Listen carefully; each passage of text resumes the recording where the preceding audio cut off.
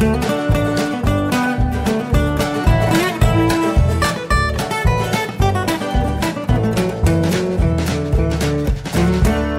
und herzlich willkommen zu Jörn Schars feinem Podcast, Episode 221. Ich bin Jörn Schaar und ihr seid es nicht. Ja, ist äh, frohes neues Jahr an der Stelle. Ne? Das ähm, hätte ich fast vergessen.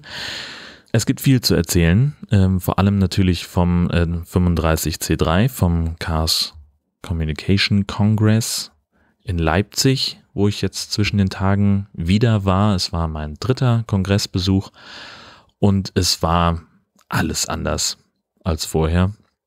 Aber dazu später mehr. Ich wollte erst äh, von vorne nach hinten anfangen und zwar mit der Anreise.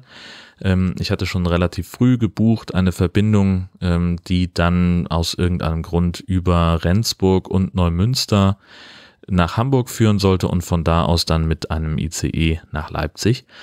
Mm, das lag, glaube ich, daran, dass in Hamburg am Bahnhof gerade Großbaustelle ist, dass also der Bahnhof Altona gerade so gut wie gar nicht angefahren werden kann oder überhaupt so grundsätzlich nicht angefahren wird. Auch Dammtor äh, wird gerade nicht angefahren und äh, dann muss man also von Husum aus, wo es normalerweise eine Direktverbindung nach Altona gibt, eine ziemliche Verrenkung machen, um zum Hauptbahnhof zu kommen. Diese Verrenkung sah unter anderem vor, dass ich ähm, zu einem bestimmten Zeitpunkt ähm, in den Intercity einsteigen sollte, der von Dänemark nach Hamburg zum Hauptbahnhof fährt. Und der war nun also völlig ungeeignet für alles. Da standen irgendwie mit mir noch 150 andere auf dem Bahnsteig und dann kam dieser Zug, der aus drei Waggons bestand und schon voll war, als er bei uns ankam. Ähm, der Schaffner stieg aus also ein dänischer Zug mit einem deutschen, mit deutschem Personal und der Schaffner stieg dann aus und sagte, Mensch, nehmen Sie doch einfach den, der in einer Stunde fährt. Und es gab buchstäblich tumultähnliche Zustände. Ähm, Soweit, dass äh, eine Frau den Schaffner zur Seite drängt und sagt, ich habe für den Zug hier bezahlt, jetzt steige ich da ein. Und ich dachte mir so, Leute, kommt doch mal klar, bleibt doch mal ein bisschen gelassen. Und dann habe ich gesagt, ja gut, okay, dann gehe ich jetzt zu diesem Schaffner hin, lass mir die Zugbindung aufheben und dann ist das so. Und ähm, habe dann noch, also als ich da bei ihm ankam, äh, stand er gerade im Gespräch mit jemandem, der, der völlig überfordert war von der Situation ähm, und der dann sagte, er muss ja irgendwie seine Verbindung haben, das braucht er schriftlich und wie er dann da weiterfahren kann und ob er ins Reisezentrum gehen soll. Dann habe ich nur gesagt, ja, wir gucken gleich mal in die App äh, da suche ich ihnen dann eine Verbindung raus. Da kriegte der, da sah man richtig, wie dem Schaffner ein Stein vom Herzen fiel, der sich dann auch sofort bedankte, das ist ja lieb, vielen Dank. Und dann, und der wurde aber immer, immer nervöser, weil er dann Angst hatte, noch mehr bezahlen zu müssen und sowas. Und das konnte ich ihm dann, glaube ich, nehmen. Und dann hat er irgendwie von, von meinem Handy mit seiner Kompaktknipse ähm, den, die Verbindung äh, abfotografiert. Und dann haben wir also rausgefunden, dass er ungefähr in die gleiche Richtung muss wie ich und dass wir in Hamburg irgendwie fast 40 Minuten Aufenthalt haben würden. Und dann habe ich ihm also geraten, dass er doch da ins Reisezentrum gehen soll und sich das genau, wenn er dann noch Fragen hat, weil der Umstieg in Neumünster, den wir dann auch noch vor uns hatten, ähm, der war, glaube ich, zu kurz dafür. Das wären irgendwie zehn Minuten gewesen, die wir da hatten. Und äh, das hätte nicht, nicht gereicht, glaube ich weil nämlich der Zug, mit dem wir dann eine Stunde später fahren sollten, zu dem Zeitpunkt schon zehn Minuten Verspätung hatte. So, wir hatten auch irgendwie dann noch sieben Minuten für den Umstieg. Ja, und der ähm, Intercity, der, der Regionalexpress von Neumünster nach Hamburg, der war dann äh, so voll, dass ich es nicht mehr äh, in die erste Klasse geschafft habe. Ich hatte, ich bemühe mich ja immer, erste Klasse zu fahren, äh, weil das meistens gar nicht so wahnsinnig viel teurer ist, gerade wenn man frühzeitig bucht. Ähm, aber der Wagen, der, der Zug war so voll, äh, dass ich es nicht mehr da reingeschafft habe. Und dann saß ich also da in so einem, Mehrzweckabteil. Ähm, aber auch da, es hilft ja auch nur Gelassenheit, weil offenbar die einzigen, die nicht wissen, dass am 26. Dezember exorbitant mehr Leute mit der Bahn fahren, sind ganz offensichtlich die Disponenten der Deutschen Bahn. Es gibt seit Jahren nicht mehr Waggons an den Feiertagen und da kann man wirklich nur die Nerven behalten. Im Endeffekt äh, kam ich dann also ähm, in Hamburg an und ich äh, hatte das ja alles mir schon rausgesucht in der, in der Navigator-App von der Bahn. Das war alles gar kein großes Problem. Nur stand eben für den Intercity Express nach Berlin und auch für den nach Leipzig äh, schon drin, äh, von wegen, äh, es gäbe unvorhergesehen mehr Fahrgäste. Da sind wir wieder bei den Feiertagen und dieser großen Überraschung, die die darstellen. Und dass also eine Reservierung empfohlen wäre. Dann bin ich also ins Reisezentrum getapert und habe mir, äh, wollte mir nur eine Reservierung holen für die beiden Züge. Fahrkarte hatte ich ja, dadurch, dass die Zugbindung aufgehoben war. Und ähm, dann flaumt die Tante mich erstmal an, so, ja, wieso ich denn nicht mit dem, mit dem Intercity Express um 14.35 gefahren wäre, wie es eigentlich auf meiner Reservierung stand. Ja, weil die Verbindung so und so war und dann gab es, ja, den Zug aus Dänemark, den darf man ja überhaupt nicht buchen. Das ist ja, die fahren ja immer mit viel zu wenig Kapazität, bla bla und föhnte mich da an und ich dachte, ja, aber woher soll ich das denn wissen? Ich fahre normalerweise nicht auf der Strecke äh, und das ist auch nicht mein Fehler, dass ich nicht mit der Marschbahn fahren kann. Ja, wie auch immer. Sie hat mir dann die Reservierung verkauft, beziehungsweise musste sie ja gar nicht verkaufen, weil es ja Umbuchung war und ich hatte ja schon und es war ja auch gar nicht meine Schuld, also war das alles überhaupt gar kein Problem. Und dann war ich halt, äh, weiß ich nicht, irgendwie eine Dreiviertelstunde später als geplant in Leipzig. Das war alles, mein Gott, irgendwas ist immer. Dann habe ich mich in die, in die Tram gesetzt äh, vom Hauptbahnhof, äh, bin zu meinem, bin in Richtung meines Hotels gefahren, sogar einen Zug erwischt, der ähm, quasi an meinem Hotel vorbeifuhr. Und dann war es ein bisschen doof. Ähm, also was heißt ein bisschen doof? Es war ein bisschen dramatisch dann in dem Moment, ähm, weil ich guckte so auf die auf die Öffi-App und und hatte da irgendwie, das war alles irgendwie, also ich war da ja schon mal in dem Hotel. Das heißt, ich kannte mich da so ein bisschen aus und dann sagte die Öffi-App, dass ich also bis zur, was weiß ich, wie die heißt, Gutenbergstraße oder was fahren sollte und dann gab es aber noch eine Station Johannesplatz und ich dachte so vom Gefühl her, dass die eigentlich näher am Hotel dran sein müsste und war noch so am Überlegen und steigst jetzt aus, steigst du nicht aus, ah, ah, ah. ach komm, fährst du weiter. In dem Moment fuhr dann auch das Hotel an mir vorbei. Ähm, naja, gut, nächste Station war jetzt nur ein paar hundert Meter weiter, war nicht so schlimm, habe ich also meinen Kram gepackt, bin aus dem Zug ausgestiegen, gehe drei Schritte und denke mir, scheiße, die Umhängetasche. Also ich hatte den, mein, mein Koffer mit den Klamotten dabei, meinen Podcast-Koffer und eben die Umhängetasche, wo alles drin ist. Das ist so die, die Tasche, mit der ich mich, mit der man mich auch irgendwo über einem Krisengebiet abschmeißen könnte und ich könnte von dort aus ungefähr sechs Stunden Berichterstattung aufrechterhalten. Das ist so. Und zusätzlich zu dem normalen Kram, den ich da immer drin habe, war da mein Notebook drin, mein Kongressticket, meine Bahnfahrkarte und mein Hotelgutschein vom Reisebüro. Mir lief's also kalt den Rücken runter und hinterm Zug herlaufen war natürlich überhaupt keine Option, der war schon weg bin also erstmal ins Hotel gewackelt und habe gesagt, guten Tag, möchte ich. Mein Name ist Lose, ich kaufe hier ein. Ähm, habe also einchecken können, die haben mich ja äh, auch ohne diesen Gutschein gefunden im, im System. Und dann kriegte ich also meine Zimmerkarte, konnte erstmal alles abwerfen, was ich da, äh, was ich so dabei hatte. Und bin dann ähm, erstmal ins Internet gegangen und habe geguckt, wo ist denn, wie ist denn die Nummer von der Hotline, wie kann ich die denn da jetzt erreichen? Und tatsächlich die Leipziger Stadtwerke die auch die Verkehrsbetriebe sind, haben eine 24 Stunden besetzte Hotline und ich konnte ihr also genau sagen, äh, welchen Zug ich genommen habe und wann ich wo war. Und dann konnte sie daraus rausfiltern, dass der also ähm, in wenigen Minuten wieder an der Haltestelle sein würde, weil der eben an der Endhaltestelle dann umdreht und wieder zurückfährt. Und dann bin ich also Hals über Kopf losgerannt zu dieser Haltestelle und äh, sie hat mir dann nochmal gesagt, so, hm, gehen Sie mal also erst zum Fahrer gehen und fragen, ob was abgegeben worden ist und im Zweifelsfall auch mal fragen, ob er derjenige Zug ist, der um 19.19 Uhr 19 an der Endhaltestelle ist, weil sie eben nicht wusste, ob da nicht möglicherweise ähm, mehrere Züge stehen, die dann halt sozusagen in einer Art Warteschlange darauf warten, dass sie losfahren können. In dem Fall sollte ich mich nochmal melden. Und ähm, ich hatte Glück, es war genau der Zug, es war aber meine Tasche nicht beim Fahrer.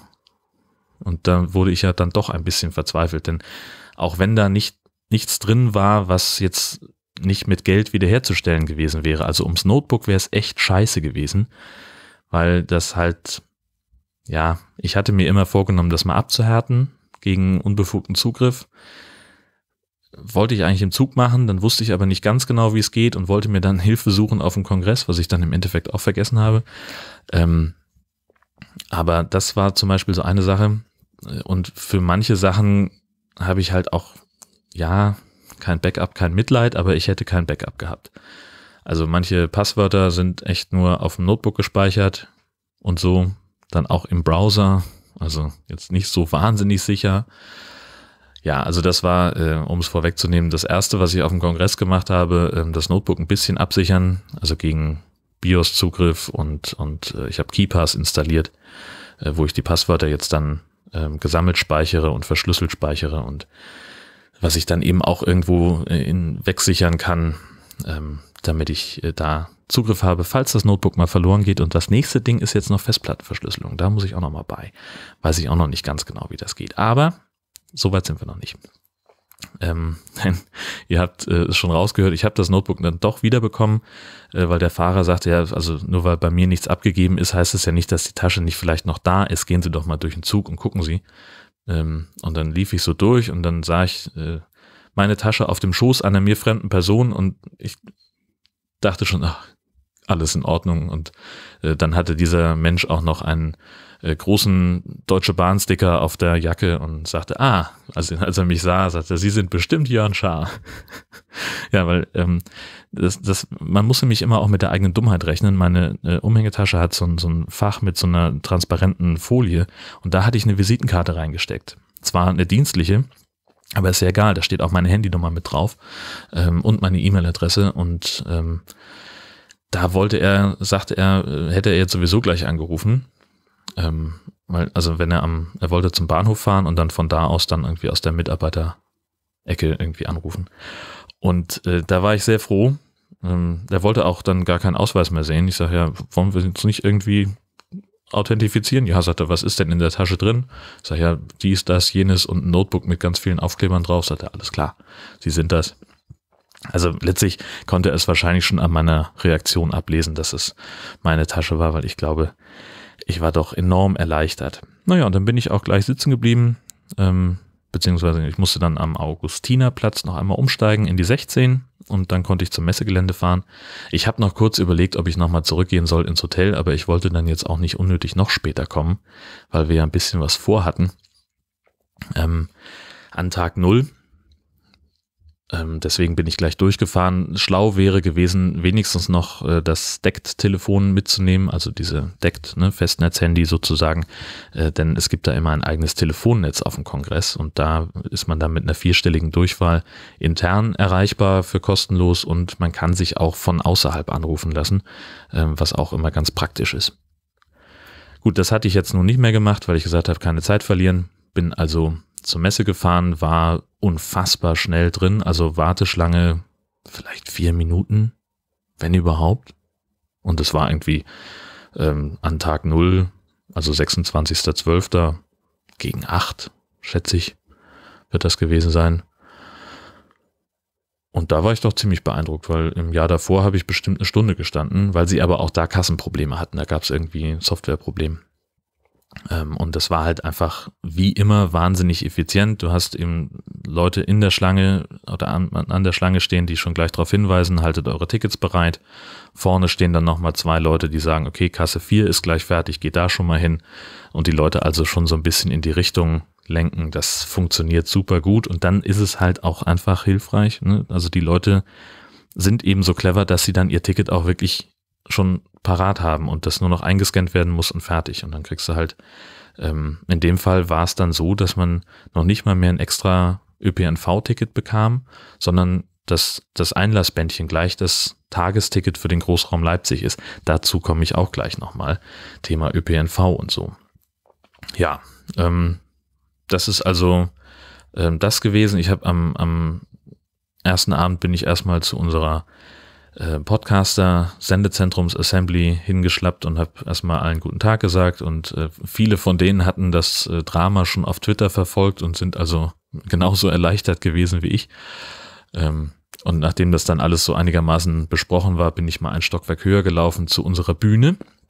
Wir hatten nämlich dieses Mal auch eine Bühne und äh, deswegen war auch alles anders bei mir mit dem Kongress, weil ich nämlich mit Roddy zusammen äh, das Bühnenprogramm organisiert habe, also sprich die organisatorischen Abläufe und auch äh, die, die technischen Geschichten, das lag alles irgendwie bei uns, das so weit zu organisieren, dass es funktioniert, dass wir auch die Helfer koordinieren und so weiter und so fort. Und da gab es eben noch ein bisschen was aufzubauen, noch ein paar Restarbeiten. Die anderen hatten eigentlich schon alles nahezu fertig und dann haben wir nochmal irgendwie durchgetestet und hier geguckt, da geguckt, ob alles so funktioniert mit dem Setup, was Streaming, Aufzeichnung und Saalbeschallung angeht. Und dann waren wir aber auch irgendwie bis um elf oder was beschäftigt mit der ganzen Kiste. Also das war, das ging dann doch noch ziemlich lange, bevor ich dann wieder ins Hotel kam und mich entspannen konnte. Ja, das Hotel, wie gesagt, äh, kannte ich schon vom vergangenen Jahr, das Mercure am Johannisplatz, ähm, hatte diesmal ein echtes Einzelzimmer, also nicht diese berühmten Doppelzimmer zur Alleinbenutzung. Das heißt, es war einfach so räumlich ein bisschen kleiner, das Bett war ein bisschen schmaler, war für mich aber völlig in Ordnung. Ähm, da ist ein, ein, kleiner Tisch drin, ein Schreibtisch, äh, Fernseher habe ich gar nicht, gar nicht erst angeguckt, ähm, Schrank, Minibar, Badewanne, äh, Badewanne eben nicht, doch, klar, Badewanne auch wieder. Ähm, das Bad war völlig okay. Ich finde ja immer Badewanne zum Duschen so mäßig cool. Ähm, aber hey, Badewanne. Wollte ich eigentlich auch wieder nutzen, habe ich aber dann doch nicht äh, gemacht, weil ich äh, andere Sachen zu tun habe. Erzähle ich auch gleich. Ähm, das Frühstück dort ist Standard. Ähm, kriegst äh, eine ziemlich große Auswahl an, an Käse, an Müsli, an Obst, an verschiedenen Quarks mit Frucht oder ohne. Ähm, Rührei mit Bacon, ohne äh, gekochtes Ei, bla bla bla. Also das volle Programm. Ähm, ja, kann man überhaupt nichts gegen sagen, ist ein, ist ein absolutes, äh, absolut gutes Standardfrühstück. Äh, und was ich total gut fand, ähm, man kann das Housekeeping abbestellen zwar, also von denen ist das nur so vorgesehen, dass es für einen Tag abbestellt, abbestellbar ist. Du kannst da so, so eine Karte an die Tür hängen und kannst da ein Datum reinschreiben. Ich habe halt gleich mal testweise reingeschrieben, äh, 27. bis 31. Ähm, das hat aber nicht geklappt. Es geht, ist eigentlich nur so gedacht, dass es für einen Tag abbestellt werden kann. Und äh, weil sie dann irgendwie Ressourcen und Personalkosten sparen, äh, können sie dann irgendwie, was weiß ich, kriegst du entweder einen Drink an der Hotelbar oder Punkte auf deine Bonuskarte oder irgendwie die Spenden an irgendein so Naturschutzprojekt, Bäume pflanzen, was weiß ich. Ja, das war, das fand ich ganz geil. Habe ich natürlich die Umweltorga unterstützt, äh, weil der Drink an der Hotelbar hatte ich überhaupt kein Interesse dran und ähm, so eine Bonuskarte habe ich nicht, also warum sollte ich ähm, da was anderes ankreuzen? Ist ja Quatsch.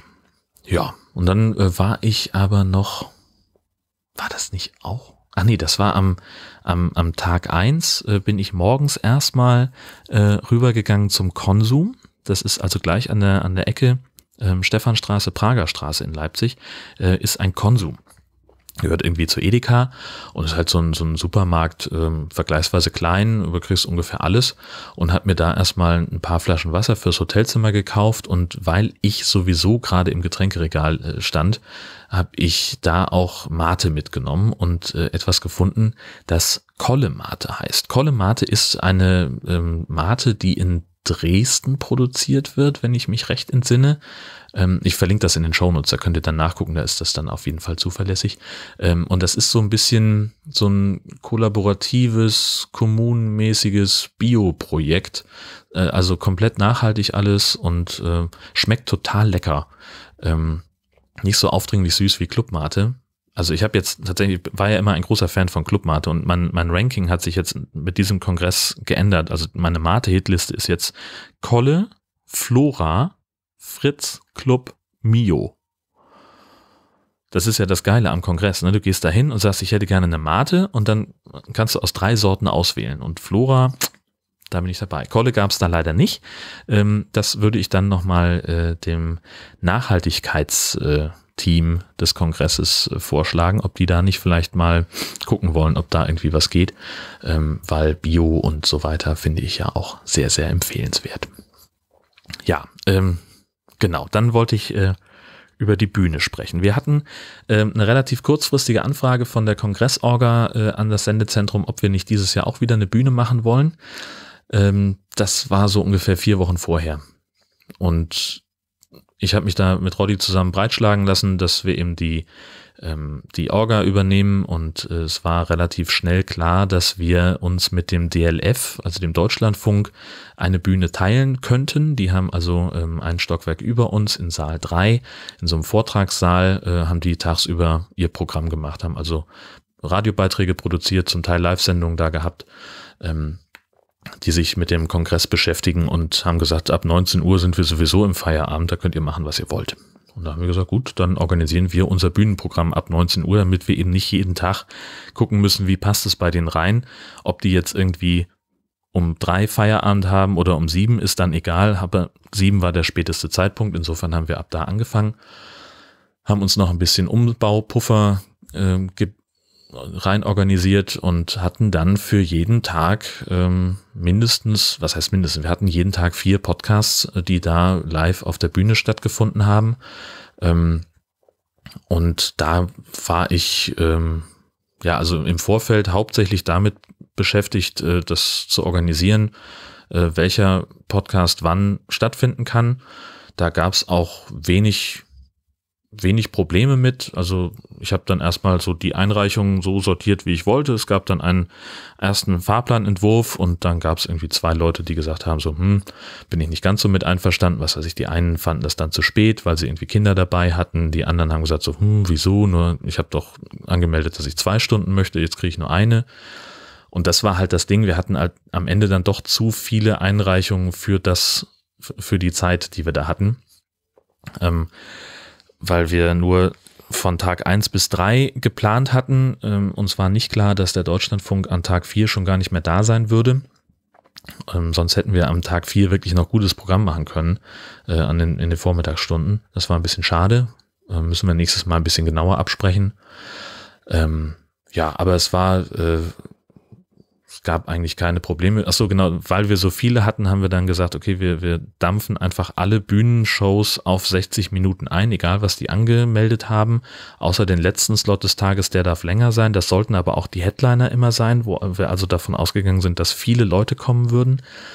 Ähm, und also vom den Einreichungen her hätten wir locker vier Tage Programm machen können. So, das war dann insofern schade, äh, dass wir das nicht ermöglichen konnten, aber so haben wir glaube ich, das Beste rausgeholt und das hat auch so für die Leute eigentlich ganz gut funktioniert. Also wir hatten auch ähm, immer so zwischen 15 und 400 Leuten im Publikum. Äh, in zwei Fällen sogar so, dass wir den Saal schließen lassen mussten, äh, weil wir gesagt haben, jetzt ist es zu voll. Äh, denn wir müssen ja auch dafür sorgen, dass Fluchtwege frei bleiben, dass die Feuerlöscher zugänglich sind und so weiter. Ähm, das sind alles so Sachen, die wir im Blick behalten müssen, auch wenn jetzt da keiner von der Messe gesagt hat mit erhobenem Zeigefinger, ihr müsst aber du, du, du, sondern das ist ja einfach gesunder Menschenverstand. Wenn da irgendwas passieren sollte, dann muss man die Leute ja irgendwie sauber aus dem Saal rauskriegen und das geht eben nur dann, wenn man ab einer bestimmten Anzahl von, von Leuten im Saal dann auch die Türen zumacht. Ja, das hat wie gesagt alles super funktioniert, führte aber auch dazu, dass ich so gut wie nichts vom Kongress gesehen habe. Ich war zweimal kurz im Hackcenter und bin da mal ein bisschen rumgelaufen, so für 20 Minuten, aber auch mehr so mit einem, mit einer Gehirnhälfte wieder am, am Schreibtisch, ob nicht doch irgendwas ist, weil wir hatten ja nicht nur das Programm, sondern wir hatten dann eben auch noch Helfer, die ähm, verschiedene ähm, Aufgaben übernommen haben. Auch die mussten ja koordiniert und im Blick behalten werden. Was weiß ich, kommen die pünktlich? Meldet sich jemand krank, was wir dann auch überraschend hatten, dass also an Tag drei auf einmal äh, eine Helferposition komplett ausgefallen ist wegen Krankheit. Und ähm, das, da musst du dann halt einfach ran und musst dann gucken, ne? was, wie, wie kannst du das lösen und, und musst das im Blick behalten. Dann gibt's auch noch den ein oder anderen Sonderwunsch, äh, den wir, der auch noch an uns rangetragen wurde, sehr kurzfristig. Das äh, müssen wir äh, im nächsten Jahr dann, sollte ich das nochmal machen, sollten wir das nochmal machen, würde ich das als zumindest als Learning ähm, mit angeben, dass man eben die technischen Voraussetzungen der äh, Leute, die Bühnenprogramm ähm, durchführen wollen, dass die das eben vorher deutlich angeben müssen, was sie, was sie technisch erwarten, was sie gerne haben möchten. So, das wäre so ein Thema. Ähm, ich habe also ansonsten äh, war ich halt da im Wesentlichen und war ansprechbar, wenn es noch irgendwelche Orga-Fragen gab, dann konnte ich äh, konnte ich mich da drum kümmern und habe halt tagsüber Sachen abgearbeitet. So meine Notebook Security habe ich schon gesagt, habe ich zumindest mit angefangen, ähm, habe mich dann auch mal in das ganze Thema VG Wort eingearbeitet. Ähm, das ist die Verwertungsgesellschaft Wort, die äh, Journalisten ähm, Lizenzkosten eintreibt. So, also offenbar ist es so, dass man, also als Journalist, das wusste ich auch äh, lange nicht, ähm, dass man erstmal äh, Honorar bekommt für die Sachen, die man so produziert für den jeweiligen Auftraggeber und dass dann aber auch noch ähm, Lizenzgebühren irgendwie eingetrieben werden, wo die herkommen, was das ist. Also ich weiß, dass, dass man als, als Medienproduzent, also eine Werbeagentur, die einen Werbesprecher einsetzt oder ähm, eben auch ein Medienhaus, die müssen Lizenzgebühren an die VG Wort abführen und da gibt es einen großen Topf und ich als, als Medienschaffender, als, als Journalist muss mich also bei denen anmelden, muss einen Vertrag mit denen machen und äh, eine Vereinbarung mit denen schließen, dass die das in meinem Namen tun dürfen. Und dann kann ich daran partizipieren und kriege Geld aus diesem Topf heraus. Das nutzen offenbar relativ wenig Menschen, ähm, weil das aber auch super kompliziert ist. Du schnallst es nicht. Es ist unfassbar. Also ich habe das vor Jahren schon mal, also habe ich das irgendwann entdeckt und habe gedacht, okay, das ist ja auch für Online-Texte und könnte auch im privaten Blog irgendwie funktionieren. Da kann man irgendwie so ein Zählpixel einbauen und dann kriegt man da irgendwie ab 10.000 Zugriffe bei Texten, die länger sind als X, äh, kriegt man da auch noch irgendwie was raus. Aber du schnallst es einfach nicht. Das ist so kompliziert beschrieben, meine Güte. Und jetzt hat mir das ein Kollege neulich erklärt, du musst einfach nur das und dies und jenes machen und dann alles melden, ähm, beim Hörfunk und auch beim Fernsehen zumindest, äh, was mehr als eine Minute Wortanteil hat, den du selber verantwortest. So, also wenn ich jetzt irgendwie 30 Sekunden für die Nachrichten mache, kann ich das nicht melden. Mache ich aber irgendwie eine Minute 10 oder sowas, und da ist noch ein O-Ton von 15 Sekunden drin, dann auch nicht. Es ist kompliziert, aber äh, man muss es einfach nur melden mit Datum und Uhrzeit und Sendungsname und, und natürlich welche Sendung man da hatte. Und dann äh, weiß ich auch noch nicht. Also das Start Einsendeschluss für äh, den für das Jahr 2018 war jetzt der 31.12. Ähm, ich glaube, dass ich ich habe bis auf einen Beitrag alles eingereicht. Der eine lief an einem Tag in der Zukunft, also ich glaube am 29. hatte ich schon vorproduziert, den kann ich natürlich schlecht am 27. da einreichen. Deswegen habe ich gedacht, ach, musste dran denken und dann habe ich es aber doch vergessen. Naja, wie das manchmal so ist. Aber damit bin ich jetzt äh, auch fertig. Das hat auch geklappt, da hatte ich mal Zeit für. Denn das ist ja das Tolle am Kongress. Du sitzt da in deiner Assembly, an deinem Notebook und in meinem Fall, ich hatte halt Kopfhörer auf, habe mir irgendwie Spotify angemacht und habe irgendwie Heavy Metal gehört, äh, weil bei dem Stimmengewirr, was da war, hat es für mich nicht geklappt, Podcast zu hören. Deswegen habe ich also Musik angemacht und saß da und habe so ein bisschen mitgewippt und habe meinen Kram gemacht und dann wird das auch eben akzeptiert. So offenbar sitzt da jemand, der gerade nicht gestört werden will. Das heißt, du wirst auch einfach nicht angequatscht. So. Und dann kam irgendwann immer mal vereinzelt Menschen, die dann so gewunken haben, so hey, ich habe da was, die sich dann auch entschuldigt haben für die Unterbrechung, so sorry, dass ich dich unterbreche, aber ich hab, ich müsste da mal dies, und jenes. Und dann konnte ich es also sehr, sehr angenehm durcharbeiten. Ich hatte mir im Zug überlegt, dass ich mein Helgoland-Feature endlich mal mache. Ist nicht dazu gekommen, weil ich erst das wegprokrastiniert habe und dann äh, war, fehlte mir die Zeit. Aber das ist immer noch, äh, das Material ist ja da, die Idee auch noch und es wird alles werden. Ja, und abends, ähm, also wenn ich tagsüber da diesen Kram gemacht habe, habe ich abends die Bühne im Blick behalten, habe da viel rumgesessen und einfach noch ein war ansprechbar für die Helfer, auch für die für die äh, Engel, die dann kamen, äh, wenn es irgendwie darum ging, also wir hatten zum Beispiel den einen Fall, dass wir schon Engel bestellt haben, weil wir dachten, bei dem einen Podcast könnte es ein bisschen voller werden und dann ist der Himmel irgendwie so ein bisschen eskaliert und hat dann nicht nur einen Engel geschickt, sondern 15 und noch einen Koordinationsengel und die Security war auch dann mal kurz da, um nach dem Rechten zu sehen und ja, da sind dann natürlich, wenn, wenn irgendwie jemand als Helferschicht irgendwie die Moderation im Saal übernimmt, dann sagt er halt auch so, Leute, ganz ehrlich, frag mal den, der das hier organisiert, der sitzt da drüben. Und äh, da waren, glaube ich, alle Beteiligten ganz froh, dass sie da einen Ansprechpartner hatten. Ähm, Roddy war auch relativ regelmäßig da, fast immer, glaube ich. Und wir haben uns dann irgendwie so ein bisschen aufgeteilt, gerade wenn es später wurde. Und das hat aber alles super funktioniert. Die Helfer waren fantastisch, die waren pünktlich zu ihren Schichten, die haben das sehr zuverlässig und, und mit einer großen Gelassenheit gemacht. Ich war da total begeistert, fühlte mich eigentlich die meiste Zeit vollkommen überflüssig. Und das ist ja eigentlich ein Zeichen dafür, dass die es äh, einfach super gerockt haben und dass es super geklappt hat. Ja, und ähm, bei dieser Gelegenheit, bei abends da sein und, und einfach nur ein paar Sachen organisieren und nochmal im Himmel anrufen, dass wir noch Engel brauchen, bla bla bla, lief ich dann Kalle über die, äh, über die Füße.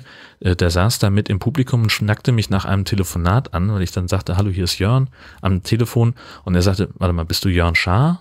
Ja, und dann sagt er, ja, dann kriegst du hier noch eine kleine Spende von mir als Dankeschön äh, für die für die Podcasts, die du machst, namentlich äh, Jörn Schaas feinen Podcast und ich What's in Your Pants. Vielen Dank nochmal an dieser Stelle. Ähm, das hat mir, ähm, das hat mir das Mittagessen von zwei Tagen finanziert beim Kongress. Total gut. Vielen Dank, hat mich wahnsinnig gefreut. Ähm, ja, und dann stellt äh, sich die Frage, mache ich das nächstes Jahr nochmal mit dieser Bühnenorga? Ich weiß es noch nicht. Also ich glaube, dass es nächstes Jahr auch wieder die Frage geben wird von der, von der Orga des Kongresses, ob wir da wieder eine Bühne machen wollen. Und das ist ja mehr so, also mehr imperativ als Frage. Ähm, und ja, also ich könnte es mir grundsätzlich vorstellen, wenn wir früher anfangen zu planen, wenn das alles nicht ganz so hektisch ist. Ähm, und dann würde ich aber auch mich selber irgendwie anders organisieren und ähm, würde halt trotzdem, trotz allem mehr vom Kongress sehen wollen, irgendwas mitkriegen wollen. Denn also, dass ich Vorträge nicht sehen würde, war mir klar. Das hatte ich auch ohnehin nicht vor. Die wollte ich sowieso runterladen und dann ähm, gemütlich am Podcatcher nachhören. Aber so ein bisschen Kongress-Feeling, bisschen rumlaufen, Leute sehen, ähm, die Installationen mir angucken, das hat mir so ein bisschen gefehlt. Und das müsste für mich nächstes Jahr zumindest gewährleistet sein, dass ich das irgendwie hinkriege, damit ich das nochmal mache. Mal gucken, ich denke da noch drüber nach. Es wird sich ja ohnehin erst frühestens nach dem Camp im August irgendwie ähm, klären lassen, ähm, weil vorher denkt sowieso keiner an den Kongress. Ja, dann äh, noch einmal kurz die ähm, Sache also was, was habe ich noch gemacht? Das ist ja auch noch so ein Ding. Also erstmal ÖPNV äh, wollte ich noch sprechen. Ähm, es ist einfach ganz offensichtlich, ÖPNV ist gleich Wollen mal Geld. Also wenn man es will und wenn man die Kohle hat, dann kriegt man auch einfach ein sehr, sehr gutes Angebot ÖPNV hin. Und wenn man ein sehr gutes Angebot hat, dann wird es auch sehr gut angenommen. In dem Fall ist es halt so, ähm, ich verweise da auf äh, Sendungsbewusstsein Folge 16, wo ähm, der äh, Lindworm ähm, so eine, also eine der Sonderfolgen über die Kongressorga. Ähm, und da hat er mit Erdgeist gesprochen. Ich glaube, es war Erdgeist. Ich vergesse es schon wieder. Es ist auf jeden Fall Folge 16. Ähm, haben sie unter anderem darüber gesprochen, wie sie den, den öffentlichen Personennahverkehr denn organisieren wollen. Das ist ja alles, die, diese Folge ist entstanden äh, im Vorfeld des 34C3, wo wir das erste Mal in Leipzig waren. Ähm, und da ist also die, die Orga auch zu den, auf die Verkehrsbetriebe zugegangen und hat gesagt, ja, wir wollen also versuchen, dass wir möglichst wenig Individualverkehr am Messegelände haben. Ähm, aber euer Takt ist nicht gut genug. So. Und ihr bedient äh, die Messe nicht lang genug bis in die Nacht und hat im Wesentlichen gesagt, so, ja, wir brauchen einen 24-Stunden-Takt von 10 bis 15 Minuten. Und dann haben die sich erst irgendwie in den Kopf gefasst und gesagt, doch nicht nachts, das ist doch Quatsch. Und dann hat er also äh, während, äh, also im Gespräch eine Statistik aufgemacht, um wie viel Uhr, wie viele WLAN, äh, wie viele Clients im, im WLAN angemeldet waren. Und dann haben die gesagt, ja, okay, offenbar braucht ihr das ja doch. Letztes Jahr hat schon recht gut funktioniert, dieses Jahr war es fantastisch. Also ich bin einige Male so gegen zwei, halb drei aus der Messe rausgefallen. Und äh, da war dann tatsächlich, ähm, also die Züge waren voll, es kam aber Verstärkerzüge leer zur, zur Messe gefahren und es war jemand da von der Verkehrsaufsicht der, der Verkehrsbetriebe, der dann ähm, gesagt, der also sozusagen den Fahrplan ersetzt hat und gesagt hat, okay, jetzt ist der Zug voll, du sollst zwar erst in zehn Minuten fahren, aber mach, hier kommen noch mehr Leute und hat gleich den nächsten äh, rangewunken und das hat einfach super funktioniert. Und wie gesagt, die Leute nehmen es auch an. Das sind Tausende, also ich habe jetzt die, die, neueste Zahl, die ich gehört habe, waren irgendwie 17.000, äh, die da waren. Und ganz, ganz wenige sind irgendwie mit dem Auto gefahren. Ein paar mit dem Taxi, andere mit dem Bus und halt die wenigen, die nicht direkt in Leipzig untergekommen sind, die irgendwie ins Umland mussten, ähm, die sind dann wohl mit dem Auto da gewesen. Aber bitte, ist doch super. So soll es doch sein. Ähm, an Tag vier habe ich äh, nur noch so ein bisschen die Bühne mit abgebaut und war dann eigentlich auch völlig durch äh, und war relativ früh im Hotel, habe mir dann eine Pizza bestellt ähm, bei a Pizza, was ich sehr empfehlen kann. Ähm, die sind wirklich gut. Ähm, es gab zwar äh, sind bei bei ähm, Twitter ein paar Alternativen äh, genannt worden, die habe ich aber entweder im Netz nicht gefunden oder äh, die lieferten nicht oder gab auch eine Empfehlung, die, zu, die einfach zu spät kam. Ähm, und ich habe irgendwie einen, einen Pizzatest gefunden, einen Lieferdienstetest in, für Leipzig, äh, wo Call Pizza auf Platz zwei war. Und weil Platz eins irgendwie so eine Kette war, auf die ich keinen Bock hatte, habe ich Call Pizza versucht. Das ist, scheint auch eine Kette zu sein, aber die kannte ich noch nicht. Ich hatte eine Pizza mit mehr, mehreren Sorten Käse, äh, mehreren Sorten Zwiebeln, Steakpfeffer und Käse im Rand. Oh, super lecker. Kam allerdings auch erst anderthalb Stunden später nach der Bestellung. Ich hatte dann irgendwie gesagt, ja, ich warte in der Lobby, soll zehn Minuten vorher anrufen ähm, und habe dann an der Rezeption Bescheid gesagt, dass da jemand kommt. Die sagt, oh, wir können den auch hochschicken. Ich sage, ja gut, egal, ist nett, aber jetzt habe ich ja schon reingeschrieben, dass ich unten warte, deswegen komme ich dann runter. Ähm, und dann ruft er mich an auf dem Handy. Ja, ich stehe jetzt in der Lobby. Das ist ja schon mal Punkt eins. Absprache nicht eingehalten. Punkt zwei habe ich dann auch gesagt, ja, ich habe ja vor anderthalb Stunden bestellt. Antwortet der doch nicht etwa mit Entschuldigung, heute ist sehr viel los, tut mir leid. Nein, er sagt ja, was erwarten Sie denn am Tag vor Silvester? ja, dass mein Essen pünktlich kommt. Naja, gut, ich bin dann runtergegangen, habe meine Pizza geholt und ähm, habe dann, äh, während ich die Pizza aß, sie war natürlich auch nicht geschnitten, ähm, das hatten die schon in dem, in dem Pizzatest reingeschrieben, äh, dass die ungeschnitten kommen würde, aber da ist ja, äh, bin ich ja MacGyver, habe die Pizza einfach zusammengefaltet zu einer Calzone gemacht und so gef gefuttert. Die war wirklich super lecker, sie war auch echt noch warm und so, das war, war richtig gut. Ähm, und habe dabei die High Alarm Podcast Folge aufgenommen mit Benny. Äh, also nee, ich habe die Aufnahme vorbereitet, während ich die Pizza aß, habe noch ein paar äh, O-Töne aus dem Film rausgefummelt, kriegte die aber nicht so richtig in der Qualität aufgenommen, wie ich sie gerne haben wollte. Und das muss ich jetzt noch nacharbeiten. Das ist dann jetzt noch für heute ähm, der Job. Ähm, die Folge ist ganz schön geworden ähm, und geht jetzt auch heute oder spätestens morgen am 5. Januar dann online. Und dann war es aber am Ende auch schon irgendwie super duper spät das war, also es hat alles sich ziemlich hingezogen. Und dann habe ich also beschlossen, dann doch nicht mehr in die Badewanne zu gehen, sondern gleich ins Bett. Ähm, und bin dann morgens viel zu früh aufgestanden. Ich konnte einfach nicht mehr schlafen, warum auch immer. Es war irgendwie kurz vor sieben oder was. Dann bin ich also kurz duschen gegangen zum Frühstücken und wollte mich dann nochmal hinlegen. Das hat aber auch nicht so richtig geklappt und ach, hm, nee, wusste ich nicht. Naja, dann habe ich also meine, meine Pfandflaschen, mein Leergut äh, zusammengepackt und bin nochmal rüber zum Konsum, um auch Reiseproviant zu kaufen. Also in dem Fall nochmal eine frische Flasche Selta und noch zwei Flaschen Kollemate und ein bisschen was zu naschen. Das habe ich gar nicht mehr angefasst nachher. Ähm, habe ich ganz vergessen. Und dann war ich irgendwie aber trotzdem um, weiß ich nicht, neun am Bahnhof, zwei Stunden vorm, vor Abfahrt des Zuges, habe gedacht, hey geil, hast ja ein Erste-Klasse-Ticket, äh, dann kannst du in die Lounge gehen, da gibt's WLAN, da gibt's Strom, kannst dich da hinsetzen, hoch und trocken, alles gut. Da stehe ich an der Tür. Die hatten gerade irgendwie eine halbe Stunde auf. Es war keine Sau da, außer der Dame, die diese DB-Lounge betreut. Und dann guckt sie auf mein Ticket und sagt, ja, sie haben ja einen Supersparpreis. Äh, da ist diese Serviceleistung nicht mit drin. Sie hätte jetzt natürlich auch einfach sagen können, das ist hier nicht mit drin, aber hey, hier sind irgendwie 100 Plätze frei.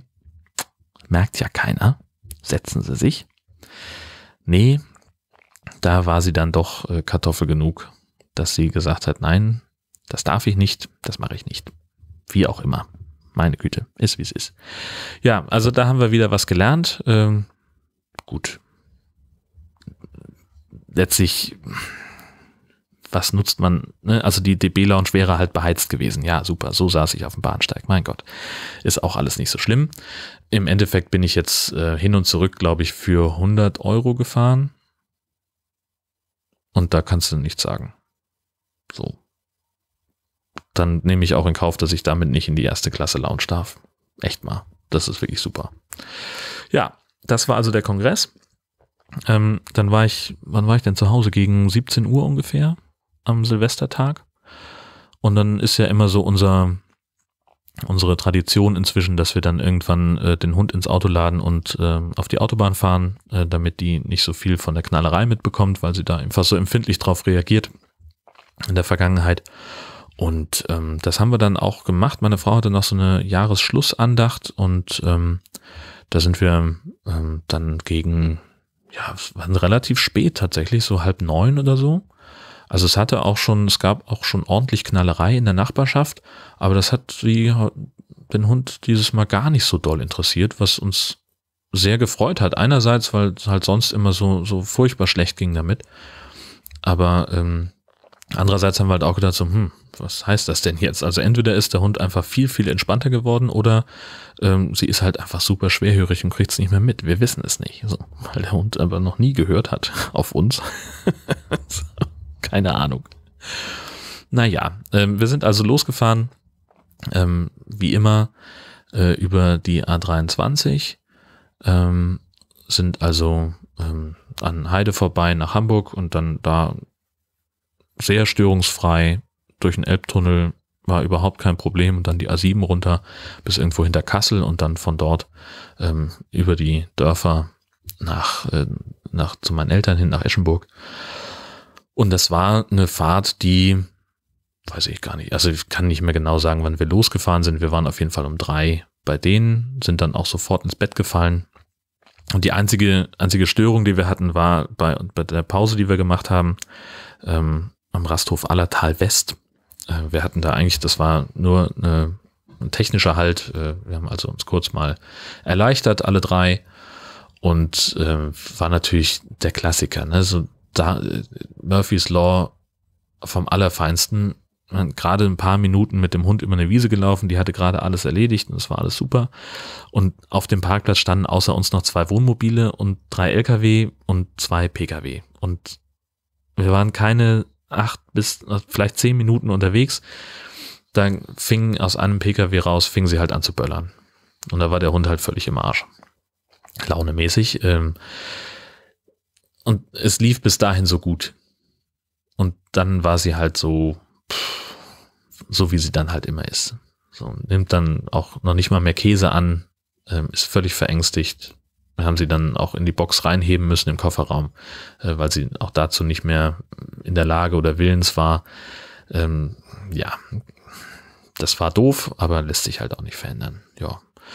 Ähm, so vor Ort haben wir eigentlich ziemlich viel rumgechillt, haben, waren auch nicht lange da, ja, nur bis zum dritten, dritten Morgens sind wir dann gefahren, haben irgendwie äh, noch nicht mal irgendwie groß Leute besucht. Mein Bruder und seine, seine Familie haben wir besucht, ähm, um den Kindern halt ihre Geschenke abzugeben, mal ein bisschen zusammenzusitzen, war noch kurz einkaufen irgendwo vorher und ansonsten waren das einfach äh, sehr entspannte Tage und jetzt sind wir seit dem Abend des 3. Januar wieder in der Casa Shasa, haben da noch äh, Filme geguckt auf dem Beamer und äh, ich habe zu Weihnachten so eine Retro-Spielekonsole bekommen, so ein ganz kleines Ding irgendwie, so ein, sieht aus wie ein Controller, sind aber 200 Retro-Spiele drauf äh, mit, ich sag mal, wechselnder Qualität. Äh, ein paar davon sind wirklich witzig und ganz viele davon sind auch einfach Schrott. Wir haben so zehn davon irgendwie angespielt, äh, völlig ohne System ähm, und man kann sich damit irgendwie beschäftigen, aber ja, das ist jetzt auch nichts Abendfüllen. Das ist halt so ein, so ein Party-Gag, glaube ich. Das könnte sein, dass wir, äh, wenn wir, wenn wir eine Party haben, dann äh, irgendwo einen Fernseher in der Ecke stellen und dieses Ding dazu. Das stelle ich mir ganz gut vor. Ja, das könnte funktionieren. Mal gucken. Ja, Rückreise war, äh, soweit hatte ich ja erwähnt, auch äh, relativ unspektakulär. Eine Pause haben wir gemacht, da war nicht so richtig viel Erwähnenswertes äh, und Jetzt habe ich noch, äh, heute am Freitag habe ich frei. Werde noch ein paar Sachen abarbeiten müssen, mich nochmal mit Vodafone auseinandersetzen, ähm, um irgendwie diesen Vertrag umzubiegen. Also ich sehe es einfach nicht ein, diese Rieseninvestition. Ich hatte das, glaube ich, erzählt. Ne? Wir wollten gerne 400 Mbit haben äh, über Glasfaserkabel. Das würde aber bedeuten, dass ein Vodafone-Techniker ähm, unsere Kabelverteilung irgendwie überarbeiten muss. Und äh, das erfordert eine gewisse Vorarbeit äh, von einem Elektriker, was die Erdung des Ganzen angeht, was da oben auf dem Dachboden so an Kabelverhau ist. Und äh, diese Installation soll 600 Euro kosten, übernimmt der Vermieter nicht, weil sie sagen, pff, ist doch euer Privatkram. Und mir ist das eigentlich zu viel, weil, also ich werte jedoch nicht die Immobilie auf.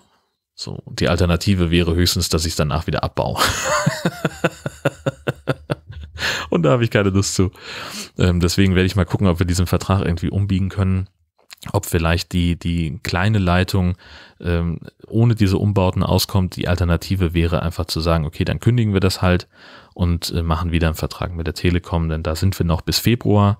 Ähm, das funktioniert soweit, äh, da sind wir, sind wir ganz glücklich mit. Und da war, um ehrlich zu sein, ist bei denen auch die, ähm, also wir haben ja wir haben ja diese, diese komische Giga-TV-Box dann von Vodafone bekommen, die ist jetzt inzwischen auch angeschlossen. Ich weiß auch noch nicht ganz genau, weswegen wir Kabelfernsehen haben, weil die äh, hat zwar eine Verbindung zum Kabel, hat sich aber über WLAN angemeldet. Und ich habe auch nicht alle Kanäle, die im Kabelfernsehen sind. Also zum Beispiel äh, NDR Schleswig-Holstein empfange ich hier gar nicht mit diesem Ding. Insofern wäre ich eigentlich mit der, mit der Telekom-Lösung doch deutlich äh, kommodiger unterwegs. Ähm, weil äh, da gefällt mir die UI, also das, das äh, User Interface ist viel, viel schicker, viel intuitiver, viel verständlicher äh, und eben die Programmvielfalt ist eine viel bessere. Sondern würde ich halt überlegen, ob ich dann, also jetzt habe ich halt HD-Sender inklusive, ja, ob ich die nur brauche oder nicht, ist mir eigentlich wurscht, aber mein Gott, also das ist alles irgendwie so ein bisschen bedenkenswert.